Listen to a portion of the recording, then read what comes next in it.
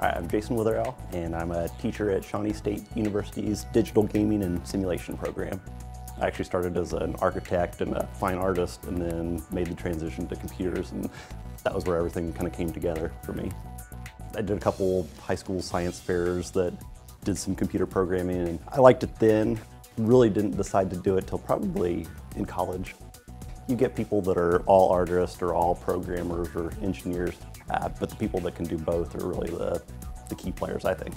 My background was a little unusual for most people. I did have the dual computer science and the, the fine arts, so I took a lot of painting, a lot of drawing classes, um, and that kind of prepared me for the, the visual part of the job. I was just taking a traditional computer science class and Back in my day, it was mostly you have a DOS window and there's just a bunch of text. It was a little bit like a puzzle. You had to kind of think out of, outside of the box and it wasn't just memorizing a bunch of facts and then repeating them to a teacher. It was learning principles and then you could apply those to, to make something really cool.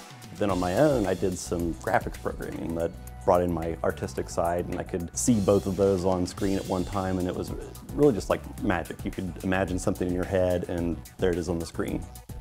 It was more just teaching me how to think than memorizing a bunch of facts. Getting in that mindset and being able to tackle problems. And if you come to a problem that you haven't seen before, just know where to look.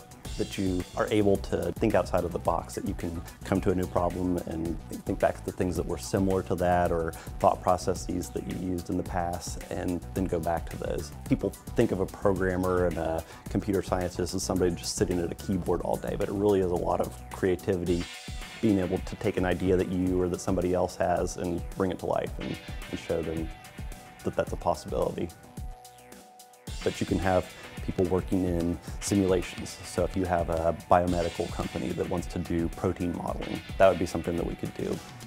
Um, if you have a IT type job where you're uh, running a database for a large web-based company, we can do that. Research and development, IT, uh, business, those are the main fields that our students go into. Computer science is very linear, so if you learn the fundamentals, then the next class that you take is going to build on that. In the beginning, I didn't see how that all fit together, but when I got into this field, it was like, oh yeah, Dr. Hancock talked about that in his physics class, so I was able to bring that in. Um, then I think of an art class and just say, okay, I remember the color schemes, so I'm going to make this red and green as opposed to red and purple.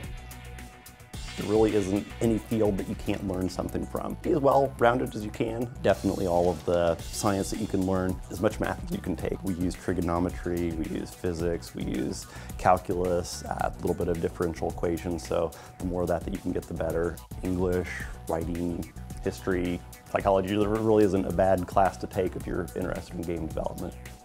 Just be as varied as you can. I wouldn't pigeonhole yourself to to one avenue and I see a lot of students that they're so sure that they're going to be a physics programmer and then they get four or five years into it and they say ah, I don't really like physics as much as I thought I did so they end up going to another avenue but if they'd had that well-rounded experience when they were younger I think it would be a little easier to make that transition don't get discouraged. Eh, I mean, it's very easy to get discouraged, especially when you come across something that just seems totally overwhelming, and it will seem overwhelming, but if you can just stick with it, start with the fundamentals. Don't try to make the next Halo 5 or Halo 6.